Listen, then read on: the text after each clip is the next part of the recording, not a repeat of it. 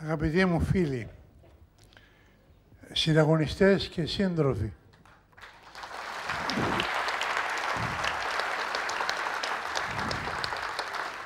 δεχτείτε από μένα και το Βασίλη Ζάνο εμένα ζωντανό και εκείνο νεκρό εκτελεσμένο από τον μοναρχοφασισμό.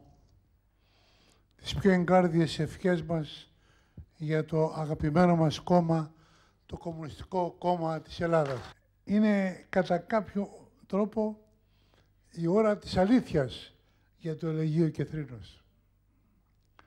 Μέσα στο έργο αυτό, όπως θα διαπιστώσετε κι εσείς, δεν θρυνούσα μόνο το χαμένο σύντροφο, αλλά φιλοδοξούσα να αποτυπώσω με ήχους το μεγαλείο της θυσίας όλων των αγωνιστών που χάρισαν τη ζωή τους για τη λευτεριά και την ευτυχία του λαού μας.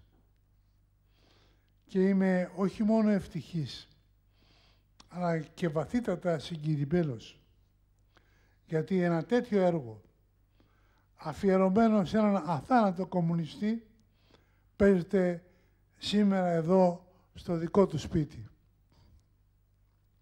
Όπως βλέπεις αγαπημένο μου Βασίλη, άξιζε ο κόπος να περιμένουμε 60 ολόκληρα χρόνια για να ανταμώσουμε και πάλι μέσα από τους ήχους που γράφτηκαν από μένα για σένα σε ένα χώρο που τον αγιάζουν οι ιερές σκιές των συναγωνιστών και συντρόφων μας με κορυφαία τη μορφή του καπετάν Γιώτη του πολύ αγαπημένου μας Χαρίλαου Φλωράκη.